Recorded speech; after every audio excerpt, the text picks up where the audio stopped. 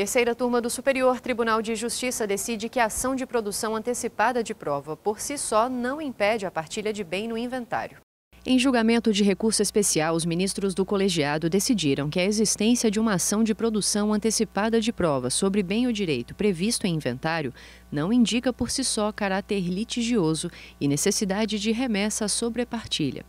Por isso, a terceira turma reconheceu a possibilidade de inclusão em partilha de uma parcela dos rendimentos de um empreendimento imobiliário que deverá ser dividida entre os herdeiros. Ao longo do processo de inventário, o juízo de primeiro grau determinou que a divisão da parcela dos rendimentos fosse examinada em sobrepartilha, porque havia uma ação de produção antecipada de prova em curso acerca do mesmo bem.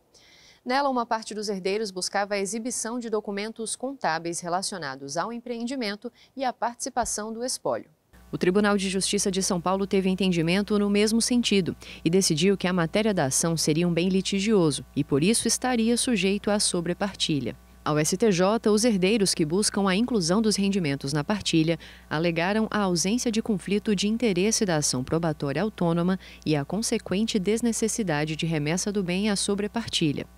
A relatora do caso, ministra Nancy Andrighi, explicou que a ação de produção antecipada de prova permite às partes avaliar os riscos de um futuro litígio, cabendo ao juízo apurar apenas se o direito em discussão existe ou não, sem qualquer pronunciamento acerca de repercussões jurídicas. A relatora teve o voto acompanhado pelo colegiado e, ao dar parcial provimento ao recurso, os ministros entenderam que a análise desses documentos poderá esclarecer fatos que não gerarão necessariamente uma ação de conhecimento futura e também se os direitos creditórios poderão ser incluídos na própria ação de inventário, caso não envolverem o exame de questão de alta indagação.